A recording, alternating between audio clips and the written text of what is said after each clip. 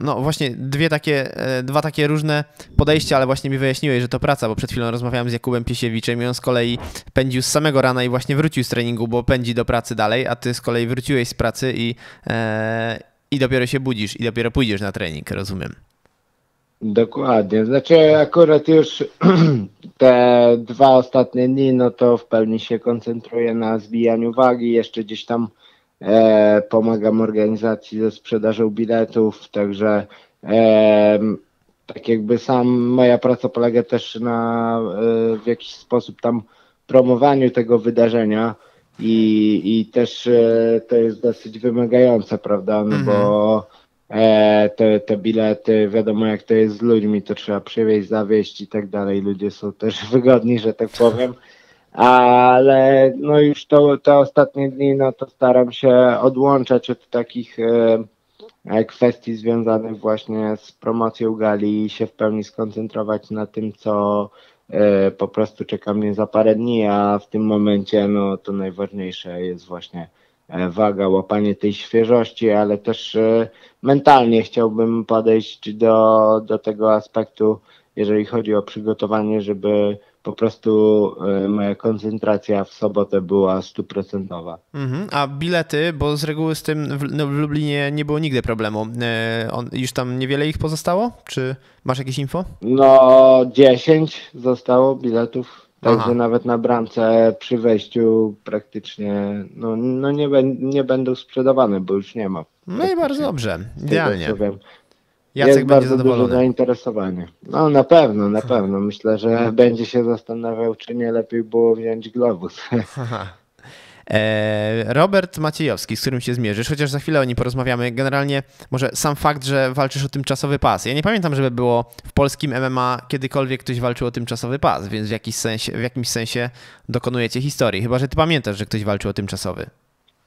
Też właśnie sięgając pamięcią, nie przypominam sobie, więc można mnie śmiało nazwać prekursorem.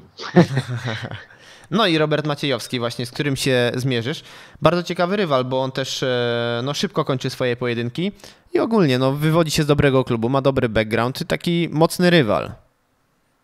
Tak, tak. E, że tak powiem, jestem pełen uznania dla jego umiejętności. E, podchodzę do, do rywala jak zawsze z szacunkiem. Raczej e, zawsze, kto by to nie był, to podchodziłem e, z takim samym dystansem. Jednakże no, uważam, że to jest solidny rywal. Jego e, mocnymi stronami jest na pewno stójka. Gdzieś tam niebezpiecznie rzuca ten lewy tylni prosty.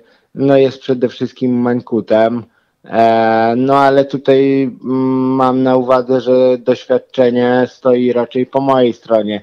Jednakże no jak już nieraz się przekonaliśmy w MMA, czasami te walki, no to, że tak powiem, loteria, tak? Może jeden aspekt nie zagrać i, i zawodnik, który jest e, postrzegany jako underdog w walce, może kompletnie rozbić e, tego bardziej doświadczonego zawodnika, dlatego bardzo dużą e, uwagę przywiązuję właśnie do tych aspektów mentalnych, tak jak wcześniej wspominałem, do takiego przygotowania swojego umysłu, że, że jestem gotowy na tą walkę i, i też walczę przed swoją publicznością, to jest mój dom i, i muszę po prostu e, pokazać, że no sorry Robert, pełen szacun, ale no nie dam ci ani, ani cienia szansy na zwycięstwo, tak?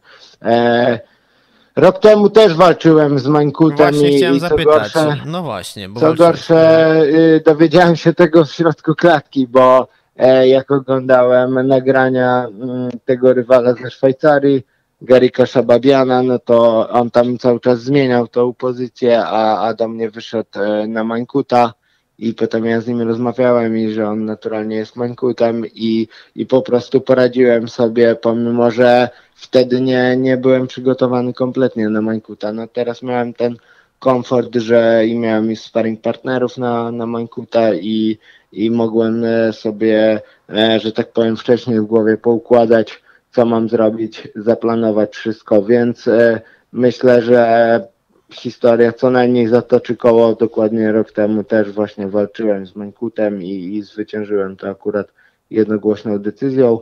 tym razem chciałbym e, nie zostawiać tego tak jakby dla sędziów, tylko zakończyć walkę przed czasem. Myślę, że to by było e, zwycięstwo, które mm, tak jakby będzie odpowiedzialne, e, odpowiednie do stawki pojedynku, jaką jest ten pas tymczasowy. Mm-hmm. No właśnie, a czy jesteś w jakimś stopniu zawiedziony, że ten pas, y, no tak się, no będzie to tymczasowy, ale no wciąż nie jest to ten właściwy, tak? No bo e, rywal Guillermo Cadena niestety nie może walczyć w tym terminie i no gdzieś tam się to odwleka, odwleka, odwleka. No ale pytanie, no co się odwlecze, to nie uciecze, tak?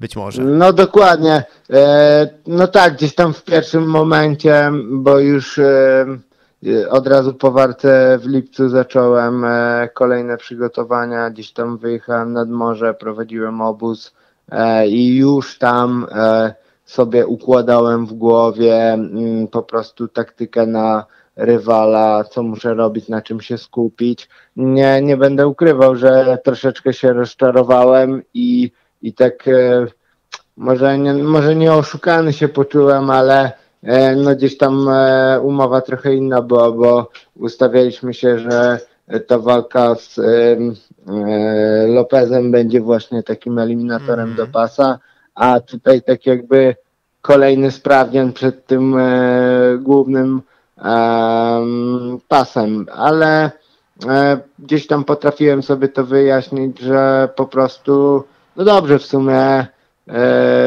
tylko mogę udowodnić to, że, że ewentualnie e, jestem e, na takim poziomie, że, że no z kim, kogo mi dają, no to walczę, wychodzę, e, zwyciężam, robię swoje i myślę, że jedna walka więcej może tylko dobrze wpłynąć na, na tak jakby mój wizerunek mhm. i karierę.